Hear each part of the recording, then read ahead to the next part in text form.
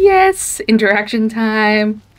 I'm too excited for this, but this is gonna be great. Here's my little treat with their cheeks all flushed.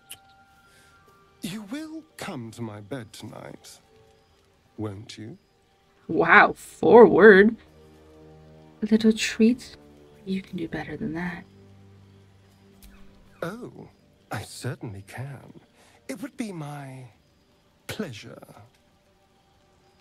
Hmm. How about this one?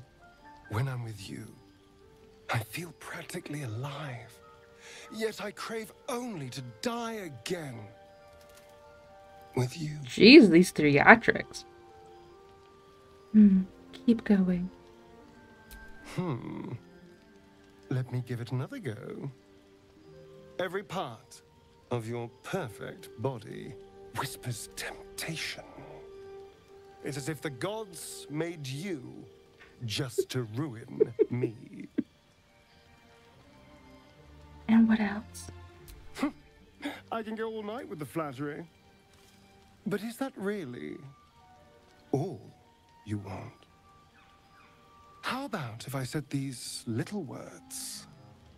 Everyone's favorite. I love you. Ooh. Yeah, he's having a lot of fun with this. I am.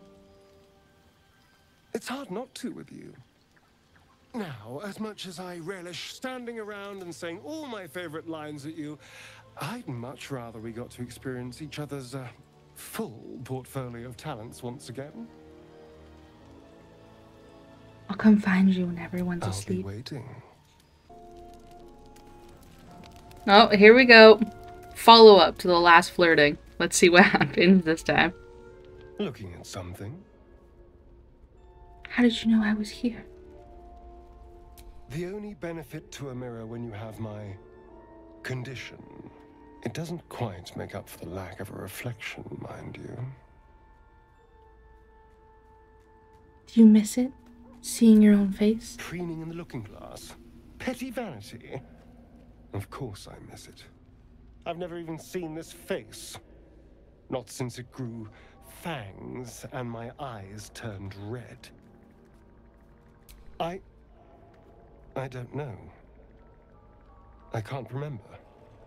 My face is just some dark shape in my past. Oh, that's bad luck. Another thing I've lost. Shouldn't have done that. Stare into his eyes. That's a bit creepy though. I see you. And what do you see? Exactly.